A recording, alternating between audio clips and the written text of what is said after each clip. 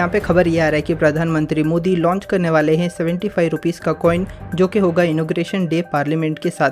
जैसे कि आपको पता है, नया पार्लियामेंट यहाँ पे इनोग्रेट होगा। उसी के साथ हम लोग देख सकते हैं एक नया कॉइन जो कि है सेवेंटी फाइव रुपीज़ का, उसको भी लॉन्च कर दिया जाएगा।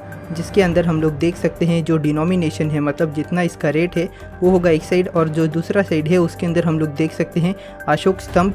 और उसी के अंदर आके लिखा जाएगा, सत्यमेव जयते है, उसके नीचे आपको मिलेगा इंडिया अगर आपको इन डिटेल चाहिए कि कितना उसका सेंटीमीटर है और जो कुछ भी इसके अंदर प्रिंटेड रहेगा वो सब कुछ आपको मिल जाएगा हमारे वेबसाइट में तो आप जाके वहाँ पे चेकआउट कर सकते हो। उसी के साथ आपको पता होगा कि नए पार्लियामेंट को लॉन्च करते हुए यहाँ पे कई सारा प्रॉब्लम आ रहा है, जहाँ पे हम लोग देख सकते हैं अपोजिशन पार्टी बाइकआउट करना शुरू कर चुकी है। नया पार्लियामेंट का इनोग्रेशन और कई सारे यहाँ पे दिक्कत आ रहा है। उसी के साथ कई सारे जो पॉलिटिकल नेता है, वे सामने आ चुके हैं विपक्ष पार्टी से भी कि वे आके यहाँ पे शामिल होने वाले हैं इस नया इनोग्रेशन के अंदर। क्योंकि डेमोक्रेसी के अंदर कुछ भी अगर यहाँ पे लॉन्च होता है तो सबका अधिकार रहेगा। जैसे कि यहाँ पे देख सकते हैं ऑपोजिशन पार्टी बिल्कुल एकजुट नहीं है अलग अलग राय है सभी नेताओं का। आपका क्या राय है? आप आके नीचे ज़रूर कमेंट सेक्शन में बताना। मिलते हैं अगले वीडियो में। Thank you for watching this video guys thank you